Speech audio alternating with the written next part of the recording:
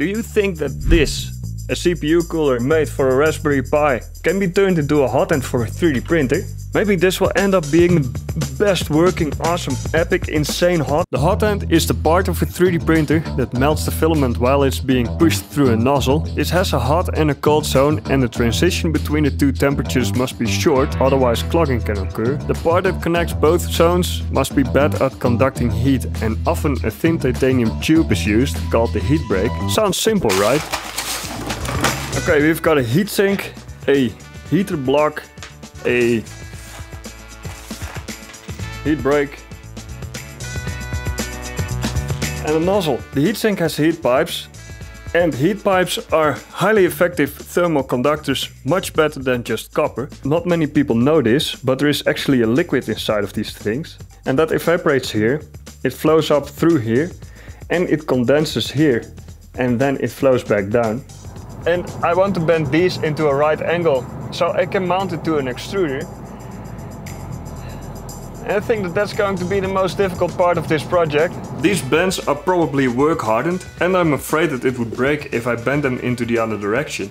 Annealing this, so heating it up to regain its original malleability, is tricky because of the fluid inside here that can cause it to explode. So what I'm going to do is just bend it on top of this flask with this funnel. If it breaks, then hopefully the fluid will pour inside here. The fluid that's in here is probably ammonia, ethanol or water.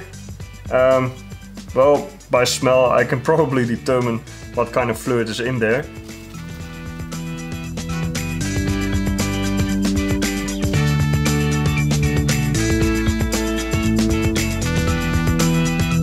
You're fucking kidding me.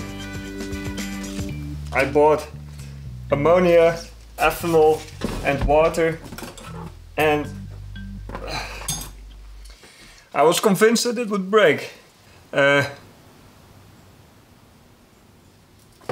oh yeah, we can back this up.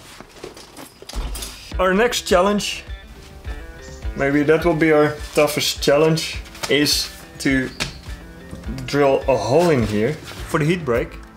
Um, and the problem is with this is that this distance between these two uh, copper tubes, these heat pipes, is well around 3 millimeters. And the regular heat break has M6 thread. what I'm hoping is that this wall thickness is thick enough, well that I, well yeah, that I don't damage it here. Um, but the plan B is to use this E3D heat break and that has an M4 thread here. Um, the reason why I'm trying to start with this it's actually a good question. If I'm going to use this heat break, then I can also use um, well this whole Revo uh, system with this heater. Yeah, let's just step in M M4, screw this in there. Yeah, that would be the wise decision. Okay, also this won't be a challenge then. I made this cool b-roll sequence to try and make something out of this, but if you really think about it, this is just me drilling a single hole in a piece of aluminum. Oh, and tapping it. Congratulations on making a threaded hole. Well done. Yes, yeah, very good. The next day on my way back to the studio I still couldn't believe it. I... it felt wrong somehow. This should have been a struggle. Well, I have to move on and find new struggles to overcome. I designed an adapter for the hot end that fits the new version of the proper extruder, which is the successor of this extruder I designed a while ago. I have no idea if this version actually works, so maybe this will cause some issues. I printed the adapter out of resin, removed the supports from it, and I somehow had to cure it. But how? Wait a minute.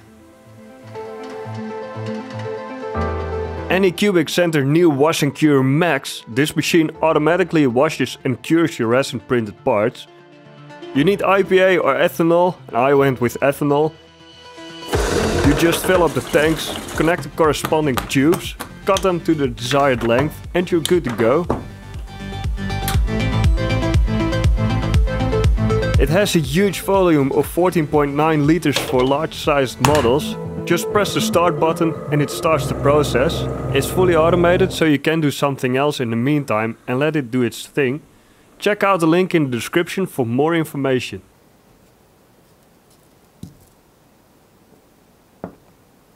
I cut out all parts of the new proper extruder out of acrylic on the xTool P2 55W CO2 laser cutter all parts fit on a single sheet and the nice thing about CO2 laser cutters is that unlike the standard diode lasers they can cut through materials like acrylic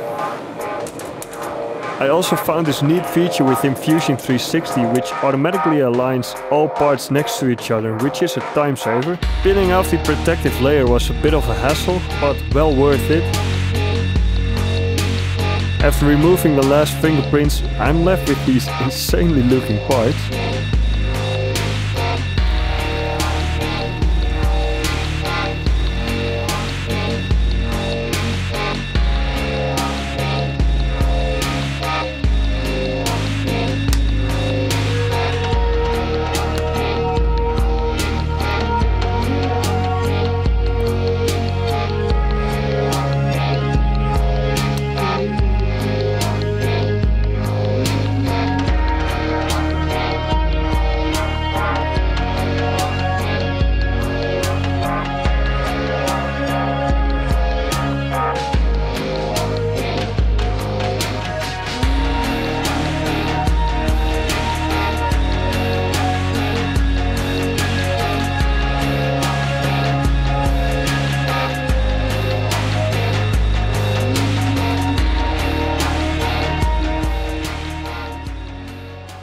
Last night I mounted this extruder to this tool plate. I routed all the wires and soldered everything. I'm quite happy with how this turned out.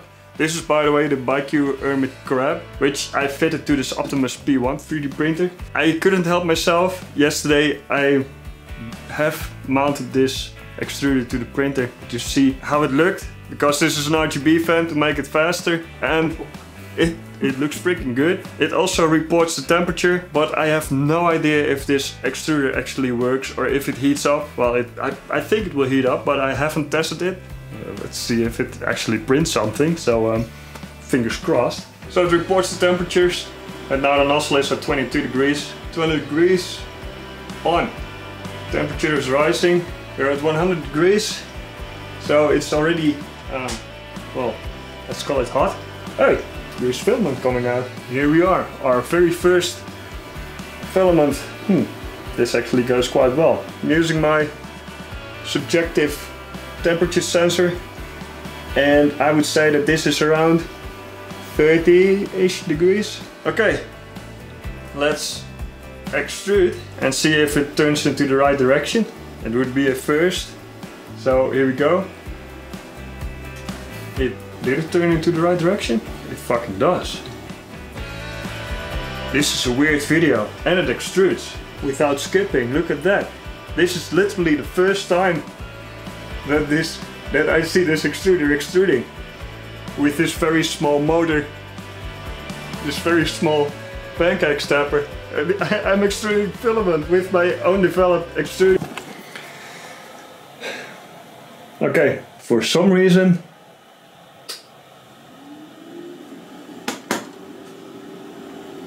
machine broke. Something is going wrong during this video. It doesn't look right. For some reason this terminal is completely fucked. Um, I'm in luck because there is one free over here. Hey, we're back. Okay, I've set the E-step value, so if I extrude 100 millimeters, it actually extrudes 100 millimeters. And I've set the Z offset, so everything is set now. Yeah, let's let's print the Banshee. Well, there is filament coming out. Where my finger is right now, this is literally, it's this is not hot. No, there is some under extrusion. The thickness of this acrylic is 1.75 which is the exact diameter as the filament. So there is absolutely no give here. I think that I have to drill out the filament path a bit. Okay, I've drilled out this filament path and now it's printing smooth as fuck. Look at that. This is this is just perfect. Okay, this is not going to be the best Banshee the world has ever seen. I didn't add a part-end fan to it.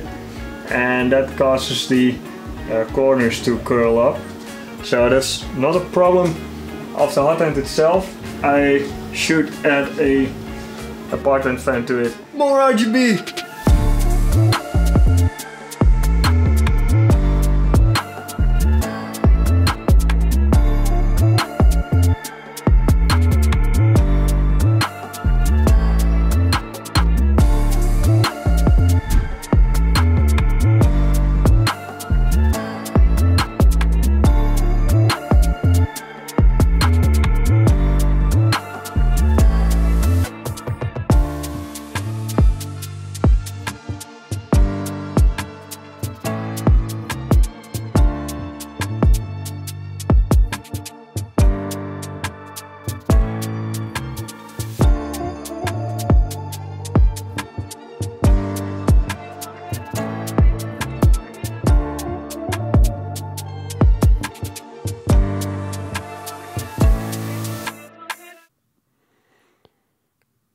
This is a good looking Banshee.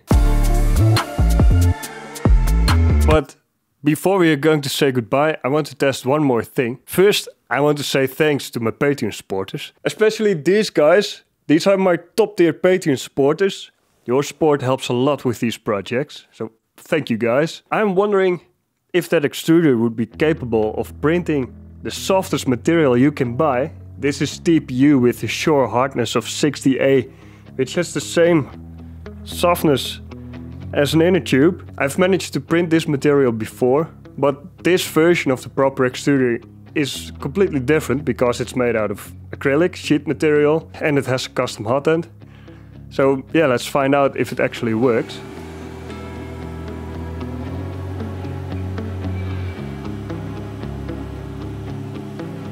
Okay, here we go.